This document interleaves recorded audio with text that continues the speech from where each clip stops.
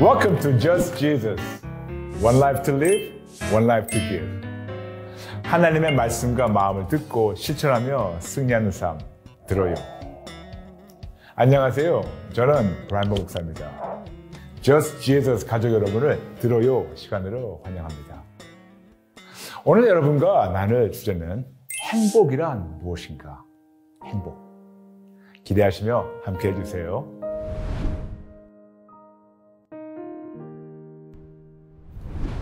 제가 20대 때 미국에서 즐겨 듣고 불렀던 유행가가 있습니다.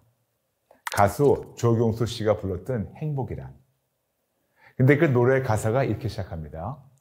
행복이 무엇인지 알 수는 없잖아요. 당신 없는 행복이란 있을 수 없잖아요. 아마도 많은 어른분들은 기억하시겠지만 1979년에 나온 노래라서 젊은 층들에게는 매우 생소할 수가 있어요. 그런데 제가 20대 때 이 노래를 즐겨 듣고 불렀을 때 저는 이 노래를 부르신 가수분 같이 예수님을 안 믿을 때였어요. 그런데 예수를 믿고 나서 이 노래 가사를 곰곰이 생각해 보니 여기서 참 놀라운 진리를 발견하게 되었습니다. 행복이란 이 가사 좀 잠시 나눌까요? 행복이 무엇인지 알 수는 없잖아요. 당신 없는 행복이라 있을 수 없잖아요. 이 생명 다 바쳐서 당신을 사랑하리. 이 목숨 다 바쳐서 영원히 사랑하리. 이별만은 말아줘요. 내 곁에 있어줘요. 당신 없는 행복이란 있을 수 없잖아요.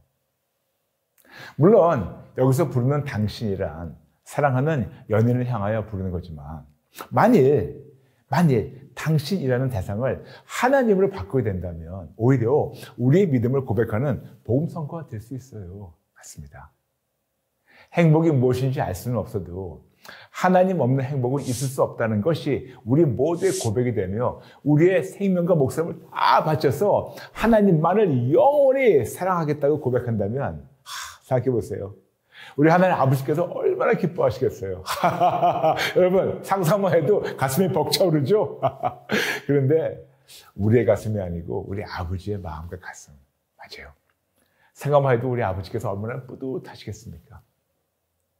여러분 드디어 2022년이 밝았습니다. 그리고 전 세계적으로 우리 모두는 서로에게 새해 인사를 하게 되는데 아시나요? 각 나라마다 각 문화마다 각각 다른 언어로 다르게 새해 인사를 합니다.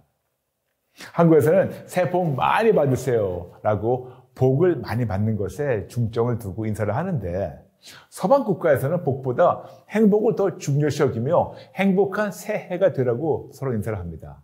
아시죠? 영어로는 Happy New Year 그리고 스페니쉬로는 Feliz Año Nuevo 둘 다 직역하게 된다면 행복한 새해라는 뜻이죠.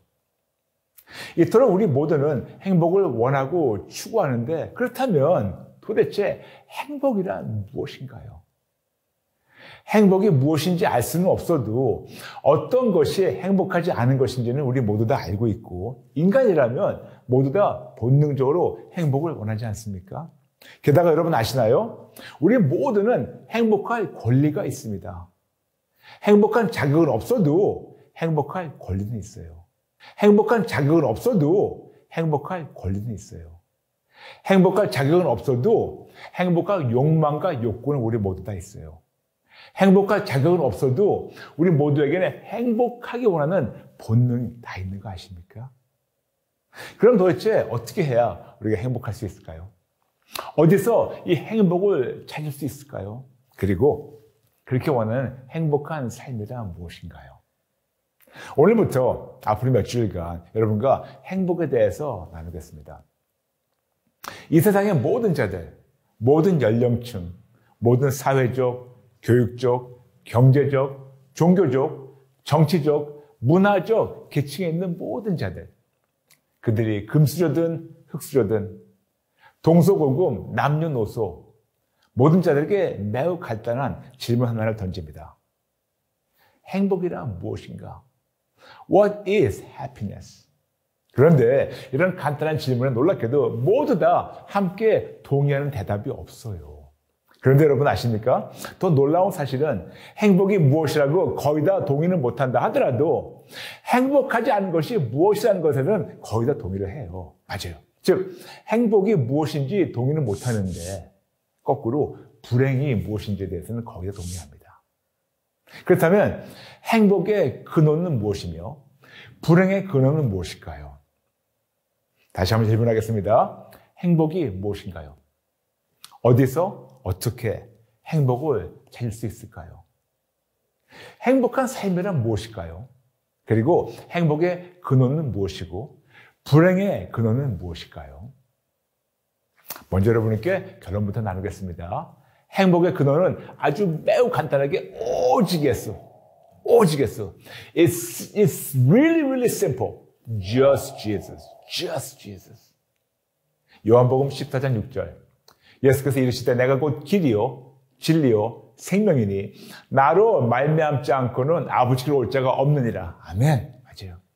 예수님만이 행복하는 길, 예수님만이 행복을 누리는 유일한 길입니다. Just Jesus is the only way to be happy. Just Jesus is only way to enjoy happiness. 우리는 매년 신년 계획서를 준비하고 있는데 New Year's Resolution 준비하고 한 해 동안 이거를 실천하라고 하는데 오히려 많은 것을 준비한 것을 하려 하다가 오히려 모든 것을 놓치고 한 해를 마칠 수가 있어요. 그러면 여러분 올해 2022년에 계획한 모든 것을 다 하려 하기 전에 우리가 딱 하나만이라도 잘하면 진짜로 행복할 수 있어요. 진짜로. Just do one thing right and you will be happy not only in 2022 but beyond this year.